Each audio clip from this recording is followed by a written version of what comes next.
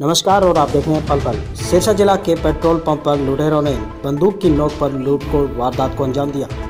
Petrol pump के करिंदे रोहतास कुमार ने बताया कि तीन लोग उसके पेट्रोल पंप पर आकर पिस्तौल की नोक पर उससे करीबन बीस हज़ार रुपये लूट कर फरार हो गए। जी हाँ हरियाणा के सिरसा ज़िले में रानिया हल्के में लुटेरों के हौसले दिन प्रतिदिन इतने बुलंद होते जा रहे हैं कि ताज़ा मामला गाँव ढोडियावाली का है।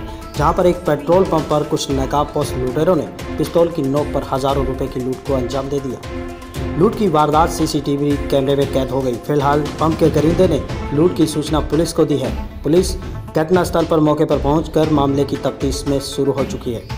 आपको बता दें कि सिरसा के रानिया क्षेत्र में पड़ता है ढूढ़िया वाली हालाँकि पूरे रानिया में अलग अलग जगह पर लूट की वारदातें लगातार हो रही हैं, लेकिन पुलिस हाथ पर हाथ धर के बैठी है।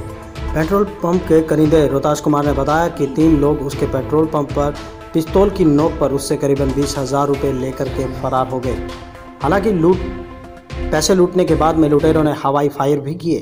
बदमाशों ने मुँह पर कपड़ा बांधा हुआ था, जिसके चलते उनकी पहचान नहीं हो पाई। पल पल सिरसा से संजीव शर्मा की विशेष रिपोर्ट।